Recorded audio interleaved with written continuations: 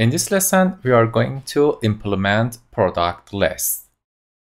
As you saw in previous lesson, uh, we have a, a spreadsheet that handle the features we are going to implement. So it's time to implement product list.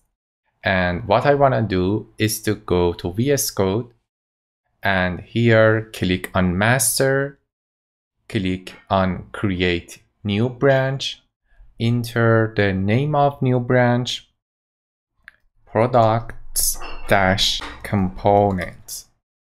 So I'm going to create products component and press enter. That said, we are good to go for implementing this feature. First of all, we need to create data.json in the src folder. Right click here, new file, data.json and press enter. In this file, we are going to create a sample data for products. So it should be products and the product is like an array. And inside this array, there is ID. Let's dress one for ID there is a title. Also don't forget for product keep it like this inside double quote. And for this object use curly braces like this and enter title dress one and enter a description. Also put it inside double quote about dress one. The next field is price. Let's keep it like $19. And the last one is available sizes. It's an array that contain strings like L and XXL and it means that from this dress there is only these two sizes. So uh, the last field for a product is image. Let's keep the image like this. And it should be an address like images slash dress one dot jpeg. And put a comma here. This is the first instance of product. So I replace this with the real data and I put the data.json in the, you know, downloadable materials for this lesson. So you can download the data.json and use that. About the images, I do the same. I put the images inside as a zip file as an attachment for this lesson so you can download it and use it exactly inside your public folder. Create a images. And inside that paste the content of six files there. I just pasted them right here. You see they are the pictures of images that i'm using as a product image in this course. After having data.json with this format and a list of images with this format, we are good to go in app.js and then import this from here. So it should be import product from data put a data slash because we are looking for a file dot json. So it should be data. So here i have data and it's time to convert app.json to a class component not the functional.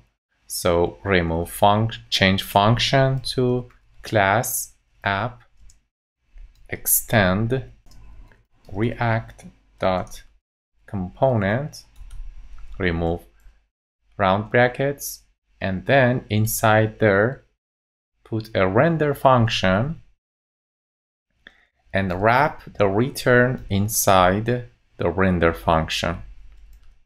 That's the classic way to convert a function component to a class component.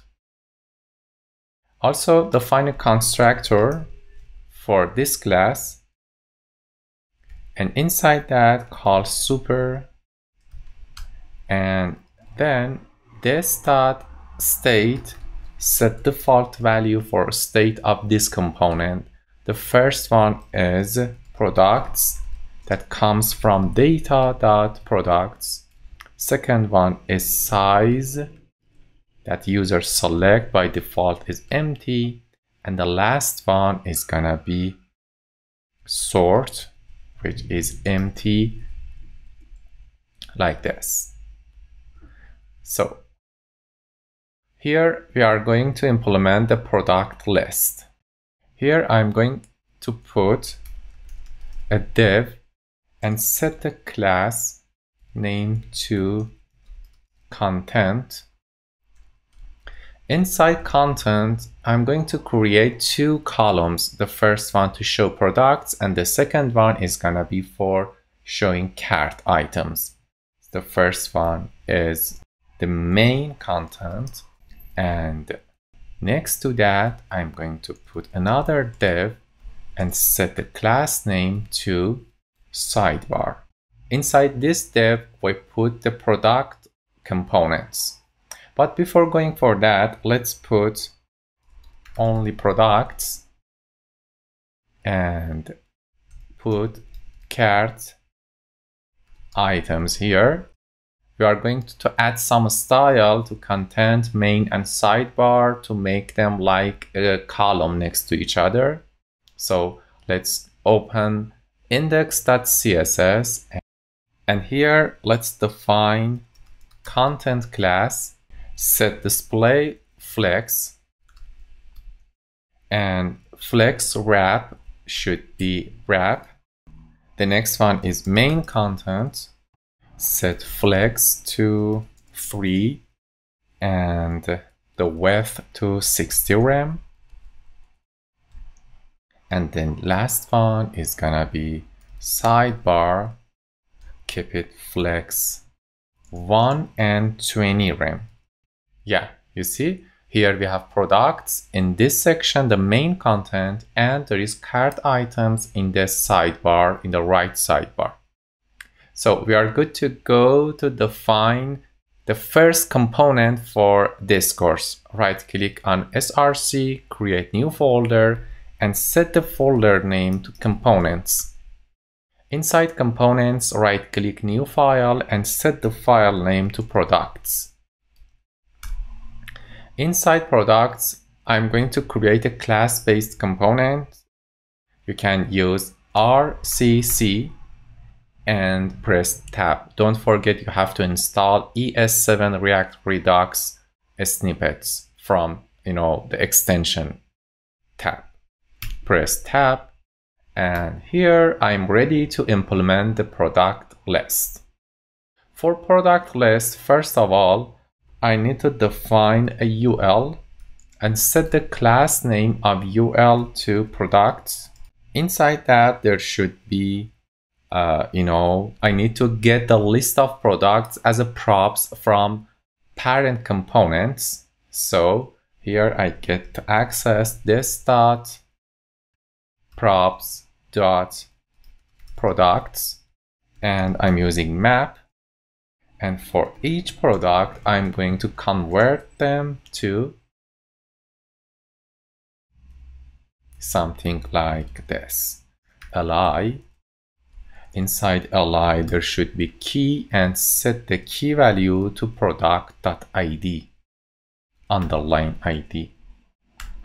Inside that define a div, set the class name for div to product and inside that define a link, set href to hashtag Inside that, create an image tag, set src of this image to, uh, it should be product.image.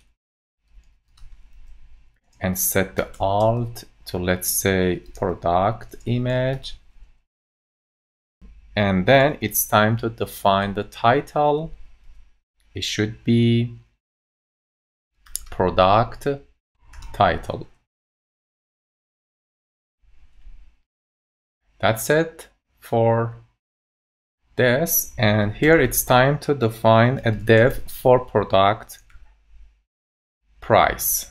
The class name should be product price and inside product price there are two sections. The first one is a div that shows the price product dot price. And the second one is a button. And this button value should be add to cart. Set the class name for this button to button primary and because we are going to get rid of this warning let's make it the alt to product dot title. So it means that if there is no uh, image it shows the title instead of that. And also for get rid of this one we can use this style you know hashtag plus product underline id that's it. Uh, it's time to add some style. First of all let's go to app.js and inside the app.js in the product section let's use product import product here. You know if you press tab here automatically the product gets imported here. And don't forget to set product property and it should be this dot state dot products. That's it. Let's check the result. You see I have product here. It's the name the price add to cart button. And yeah that's all product that I defined in the data.json so we are going to make them like this so we need to format them change the size of image and the font size the style to make it from this to this. Ready? Good. First of all, let's go for the products itself. In the index.css, create a section for products and put dot products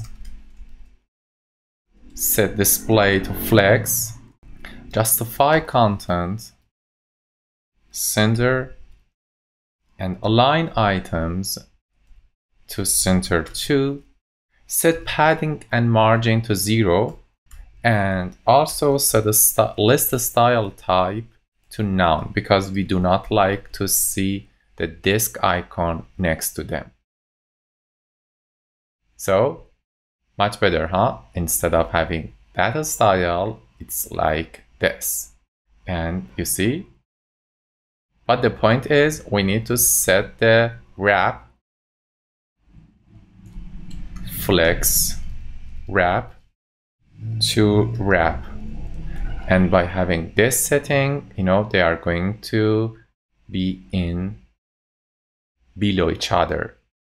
The next change should be list items inside products. Set flex to 1 1 29 rem.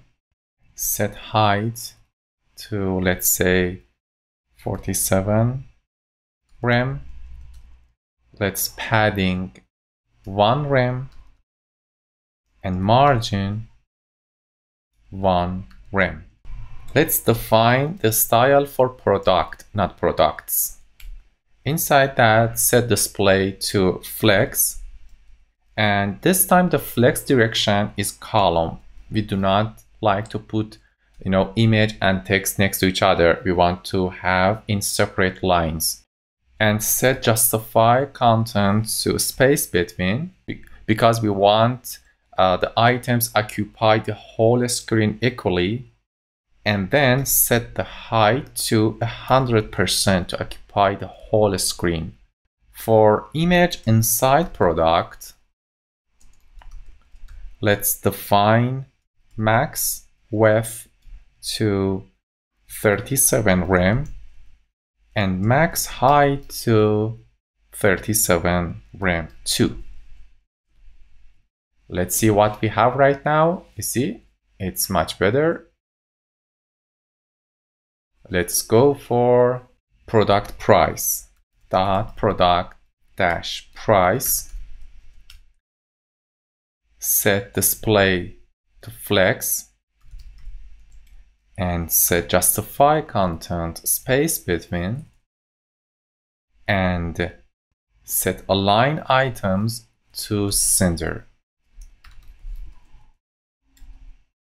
For div and buttons inside product price, we need to set text align for this and button set text align to center.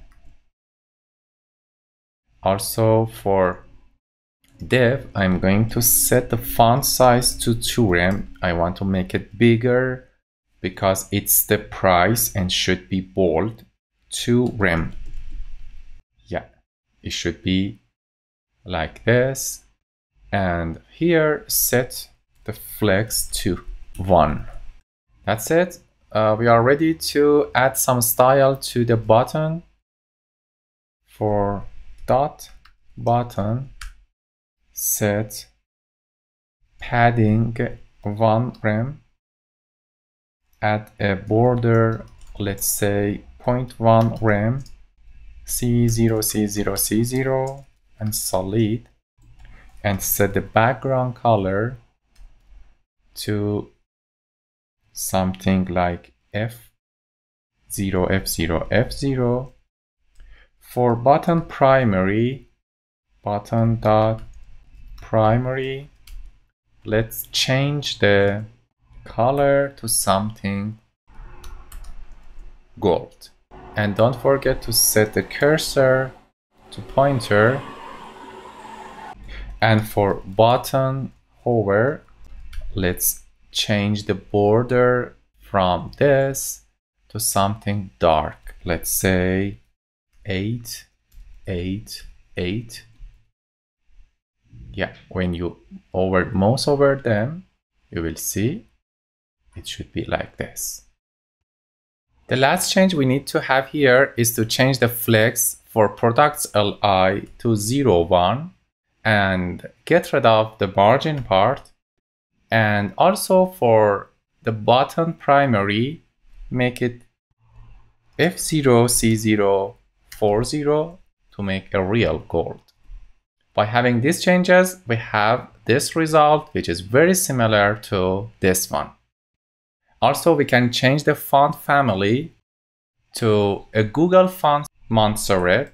Just paste this code here you know, fonts, googleapis.com slash CSS2 question mark family Montserrat and display swap. And by having this, copy this code here and inside the body section, right here, set font family to this and put a comma and then add this one and get rid of this. So here we change the font family. Let's say what we have right now, you know, it's like this. And we can get rid of underline for links. So set text decoration to none.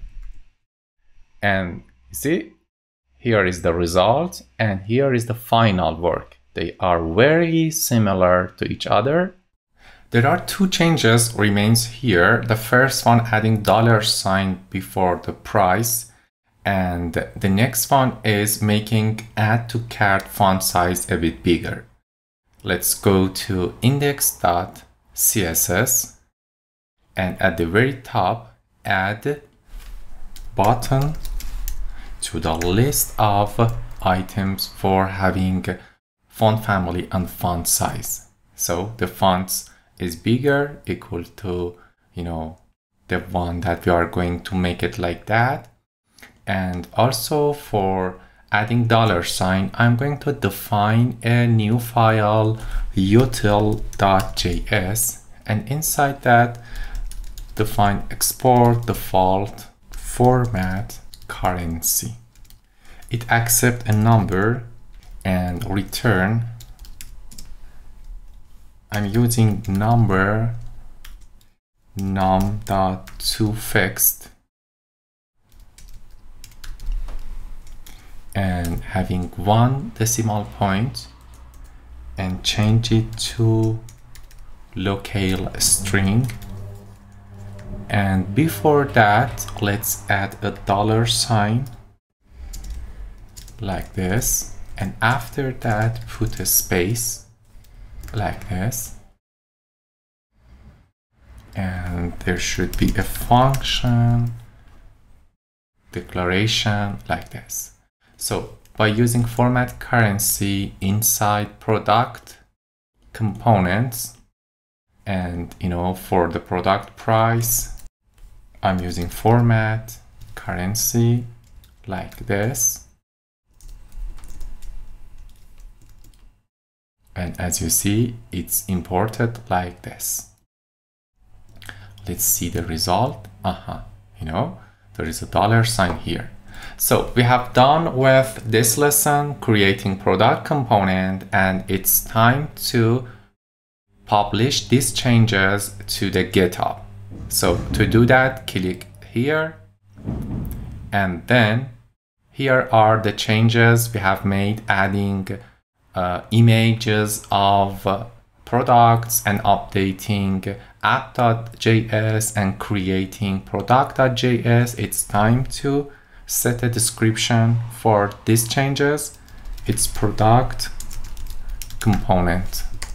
Create product component. It's a message for this commit. Keep command or control and press enter and then click on this icon to publish changes to the GitHub server. After having these changes on the GitHub server, it's time to go to github.com slash your name slash react shopping cart. You see, here is the new branch and we want to create a pull request and merge it with the master.